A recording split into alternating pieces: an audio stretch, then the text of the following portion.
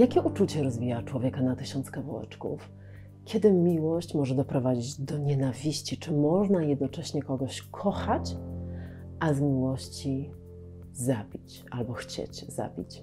Opowiem dziś Wam o ciekawostce, którą wyczytałam w książce Donalda Dettona Przemoc w rodzinie, a potem znalazłam świetną egzemplifikację tej ciekawostki w dwóch książkach Lwa Tolstoja. Uwielbiam e, łączyć wiedzę psychologiczną z literaturą piękną, mm, zwłaszcza takich geniuszy jak Dostojewski czy Tolstoj, którzy nie dość, że mają świetne pióro, to są jeszcze ogromnymi znawcami ludzkiej psychiki. Jeżeli oglądaliście mój poprzedni film, w którym dzieliłam się wiedzą o modelu rozwoju relacji Marka Knapa, to wiedzcie, że jest ona doskonale ukazana właśnie w książce Lwa Tolstoja Szczęście rodzinne, a przecież on napisał tę książkę 100 lat przed tą teorią, może to właśnie Knap czerpał z Tolstoja. Dodam, że dostęp na przykład do książek Tolstoja, a także wielu, wielu innych możecie teraz mieć za darmo książek, a dokładniej e-booków i audiobooków w aplikacji BookBeat. Link znajdziecie w opisie do filmu. Donald Dutton, psycholog badujący tysiące agresywnych mężczyzn dopuszczających się przemocy wobec swoich partnerek, zauważył, że łączy ich jedno. Wszyscy byli w dzieciństwie zawstydzani. Jesteś do niczego, jesteś nieudacznikiem, za co się nie weźmiesz, zepsujesz to. Z czym do ludzi? Wszyscy cię wyśmieją. Żenujące jak ty wyglądasz, jak ty mówisz, co ty mówisz. Zawstydzanie i upokarzanie wywierają destrukcyjny wpływ na obraz samego siebie, poczucie własnej wartości, zdolność do samouspokajania się, mm, znoszenie samotności, modulowanie lęku i złości i napięcia. Psycholożka społeczna Jane Tangney zróżnicowała ludzi na skłonnych do poczucia winy i skłonnych do poczucia wstydu. Jak sądzicie, którzy mają łatwiej?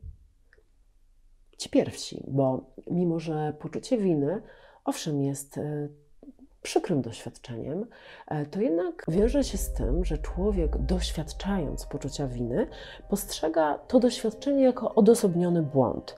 Można powiedzieć, że poczucie winy jest taką relacyjną odpowiedzią spowodowaną naszym poczuciem, że kogoś skrzywdziliśmy, że komuś jest przez nas przykro. Natomiast Poczucie wstydu to stan całkowitego zaobserwowania sobą.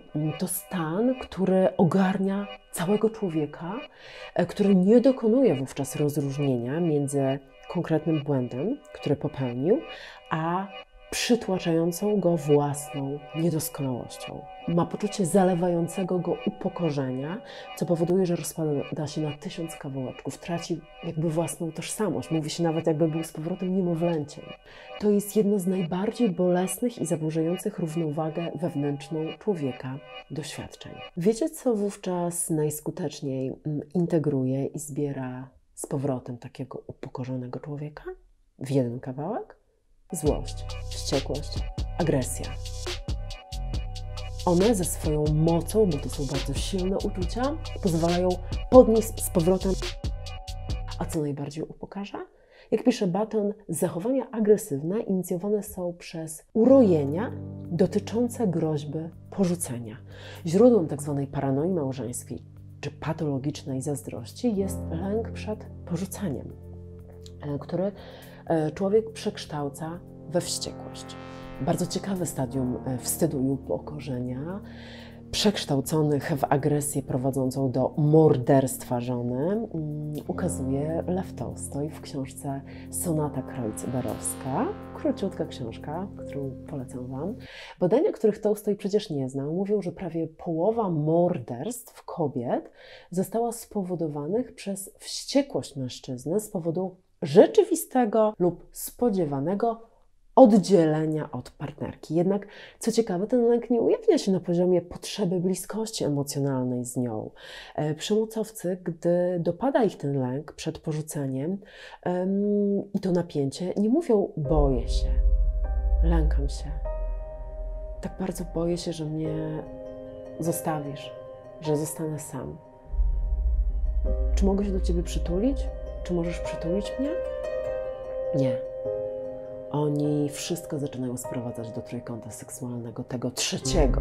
Do którego na pewno ona pójdzie, z którym na pewno mnie zdradza, ta zdzira, chodzi do łóżka, ma gdzieś dom, dzieci, mnie, żyje tylko swoim romansem z szefem. Wszyscy w jej pracy o tym wiedzą, upokarzają mnie, śmieją się ze mnie, robią to pewnie codziennie i on się tak nakręca i nakręca.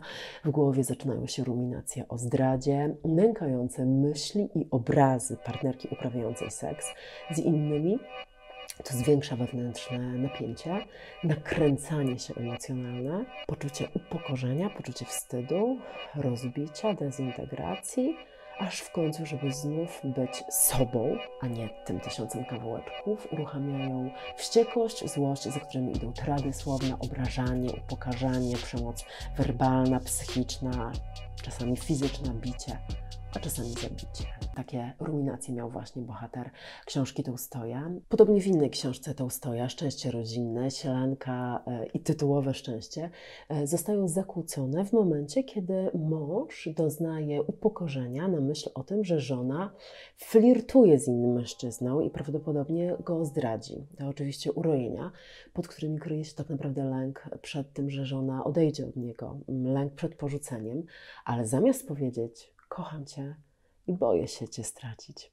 Zaczyna ją obrażać, a potem od siebie dystansuje i na miejsce czułości, miłości pojawia się chłód. Daje do myślenia, prawda? Jak bardzo często w lęku przed utratą kogoś jeszcze bardziej psujemy relacje z nim, doprowadzając do tego, że w końcu sprawdza się samospełniające proroctwo i rzeczywiście tracimy tę bliską osobę. Czytanie lub e, słuchanie powieści e, daje mi świetny wgląd w takie sprawy i refleksje, bo mogę wejść w głowę bohaterów. Zachęcam Was do przetestowania BookBeatu. Oprócz Tolstoja e, ze swojej strony bardzo polecam serię Rozwin swój potencjał, czytanych przez fenomenalnych Adama Ferencego, Krystynę Czubównę, Jerzego Sztura, którzy przeprowadzają słuchacza przez filozoficzno-terapeutyczno-psychologiczne przemyślenia związane na przykład z tym, jak być szczęśliwym, jak rozwinąć poczucie własnej wartości, jak odkryć swoje możliwości. Ciekawe refleksje skłaniające do zastanowienia się nad sobą, a jeżeli na przykład wśród Was są rodzice albo macie młodsze rodzeństwo, to bardzo polecam też audiobooki na przykład Maszy i Niedźwiedzia. Ja to włączam od kilku dni mojemu synowi przed snem dzięki temu na przykład mogłam e, napisać z spokoju ten scenariusz do tego filmu. Mm, takie i tysiące innych audiobooków i e-booków macie teraz przez miesiąc zupełnie za darmo z kodem Natalia, mm, a potem, kiedy minie miesiąc, podejmujecie decyzję, czy chcecie być dalej, czy nie. Żadnych zobowiązań. Ja jestem bardzo ciekawa, jak zawsze, co o tym wszystkim sądzicie. Może macie jakieś refleksje właśnie na temat tego zawstydzania, lęku przed porzuceniem, tego wszystkiego, o czym opowiadałam, a może chcecie podzielić się tym, jaką książkę ostatnio czytaliście. A oprócz tego chcę Wam powiedzieć, że wyobraźcie sobie, że dokładnie 3 lata temu nagrałam swój pierwszy film, więc jestem z Wami już 3 lata. Prawie co tydzień udaje mi się być miłe trzy lata. Jeszcze się nie żegnam, bo to tak brzmi, jakbym się żegnała. Mm, jak zawsze jestem bardzo ciekawa Waszych przemyśleń, więc piszcie, komentujcie. Nie żałujcie łapek w górę, jeżeli trafiliście tu pierwszy raz lub kolejny i zastanawiacie się, czy subskrybować, to zapraszam, subskrybujcie.